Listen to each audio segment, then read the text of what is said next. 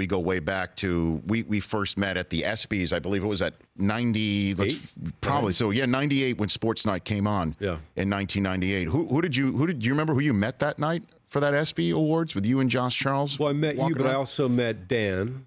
DP? He was there, and Ken. Kenny Mayne was there. Kenny Mayne. Yeah. Now, were you you were supposed to be the Dan character or the Keith character They- on this Aaron thing? here? Sorkin would never say, you know, uh, Craig Kilborn thought that I was him.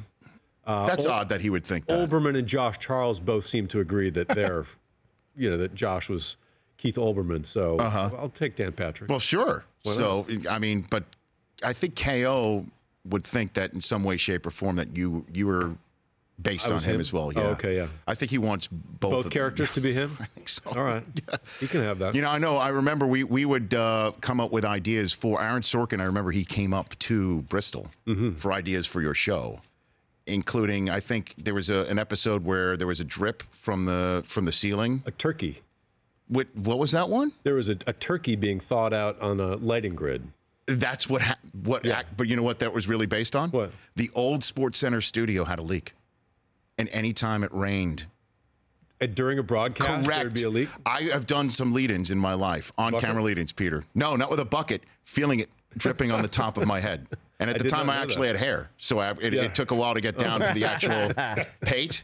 That's what that was based on. Yeah. And then, of course, the um, the uh, Steve Levy moment, based, that? which was the um, Randy Johnson had a bulging disc.